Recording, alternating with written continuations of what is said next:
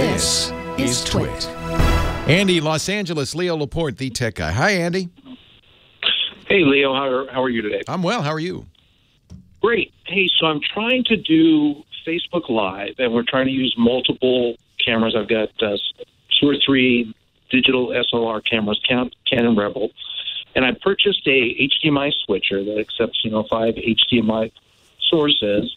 But when we hook everything up, uh, and and basically what I'm doing is I'm I'm facing the phone camera to a monitor, so it's actually picking up uh, the switcher feeds as they go into the monitor to try to create a more professional look.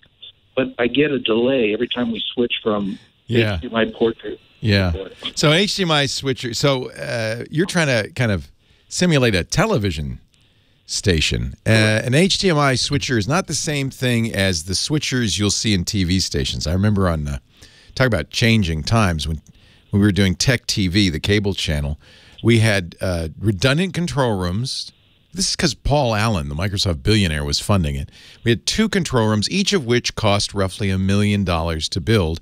And a big part of that expense was a great big, you've seen them on TV, Grass Valley switcher, one of those things with the, the T-bar that you slide up. And, you know, anytime they show backstage at The Tonight Show or whatever, or on Saturday Night Live, you'll see those big Grass Valley switchers. One of the things television switchers do is they switch instantly.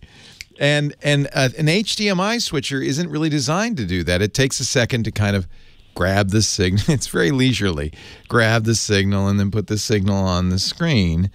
And uh, there's a variety of technical reasons for this, but anything that's going to do switching in real time is going to be much more expensive. We use a device that's more capable than the million dollar Grass Valley console uh, to do my switching here. I can switch very quickly just by typing typing on a keyboard, and that switcher is called a, a TriCaster. Now we have a fancy one, which I think thirty-five thousand dollars, but you can get less expensive ones. I would look if you want to do this. You're going to probably want to get the least. I think the least expensive one, right? Is this for a church? Yeah, it's, it's for we're trying to do some public service stuff. Okay, and interact with. You need a you need a television switcher. Hardware switchers are actually got, gotten a lot less expensive. There's a company called Blackmagic that makes practically consumer priced hardware switchers for video, and they are priced uh, inexpensively, but they work very, very well. So it's it's blackmagicdesign.com. And then uh, what is what is the name of their their variety of the ATEM? I think the ATEM ATEM switchers are their inexpensive uh, kind of TV production studios. There's one for under a thousand dollars. There's even one for six hundred dollars. Connect cameras to switchers. Well, that's a that's not quite it. But anyway, go take a look at the ATEM line. The other way you could do it is a lot cheaper. It's actually how I do YouTube live video. Uh, it's a camera from a company uh, called Livestream, which specializes in live streaming. They make something called the Mevo, M-E-V-O, and this is actually what I use. The Mevo is kind of clever. Uh, it's one camera, but it is a 4K camera, which means it's in effect four 1080p pictures that you can switch between. We're seeing this a lot. Uh, there's drones that use these 4K cameras, and uh, Nest just announced its new in-home camera that's 4K. Not because you want 4K. You wouldn't want to stream 4K over your Wi-Fi. It'd kill your Wi-Fi.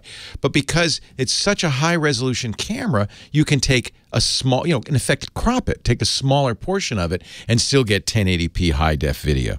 So that's what the Mevo does. The Mevo has a nice array microphone, but you probably are going to want to use an external microphone uh, or external audio input. And the best thing of all is this is controlled by an iPhone or an iPad.